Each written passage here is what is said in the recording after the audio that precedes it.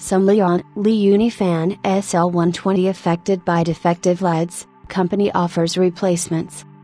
Lian Li on Monday disclosed that some batches of its Uni Fan SL120 units are affected by defective LEDs.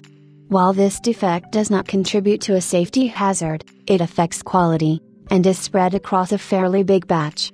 Uni Fan SL120 manufactured between December 2020 and March 2021 are likely to come with a faulty blue LED lighting IC that makes the blue component of the RGB LED deteriorate over time, resulting in dimmer LEDs.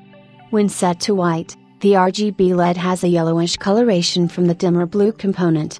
The company mentions that units manufactured after March 2021 come with corrections for this issue. Anyone with Uni Fan SL120 can file for replacements, since they may have thrown away product packaging and may not know their date of manufacture.